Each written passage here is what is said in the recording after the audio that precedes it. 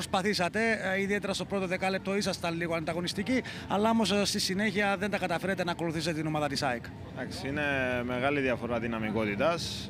Ε, συγχαρητήρια στην ΑΕΚ. Ε, αξίζει και είμαι σίγουρος ότι θα πάει καλά και στο, στους τελικούς. Ε, από εκεί και πέρα η ομάδα μας ε, έχει ένα ταβάνι. Είναι πολύ δύσκολο να ανταγωνίζεσαι ομάδες σαν την ΑΕΚ. Πρέπει να κρατάς 40 λεπτά τη συγκέντρωση σου ε, τακτικά κάποια κομμάτια. Δεν το καταφέραμε σε αρκετά μεγάλο βαθμό εκτός το πρώτο δεκάλεπτο και η διαφορά είχε φύγει.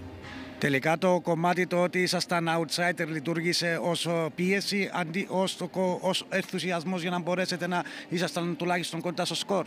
Εντάξει, αν υπάρχει το outsider η πίεση πρέπει και η δυναμικότητα να είναι κάπως κοντά. Οπότε η, δεν υπήρχε σε αυτό. Ήρθαμε να ευχαριστηθούμε το πρώτο, η πρώτη μας συμμετοχή στο Final Four. Ε, και από εκεί και πέρα να προσπαθήσουμε να μετρήσουμε τις δυνάμεις μας με καλύτερες ομάδες.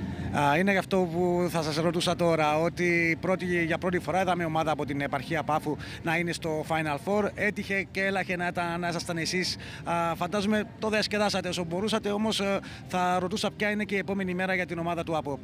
Ε, κοιτάξτε, νομίζω τα τελευταία δύο χρόνια η μεγαλύτερη επιτυχία του ΑΠΟΠ είναι αυτή η σοβαρότητα που βγάζει προς τα έξω. Προσπαθούμε ε, και, στο, και στο αγωνιστικό κομμάτι και στο διοικητικό κομμάτι να κρατήσουμε αυτή τη σταθερότητα.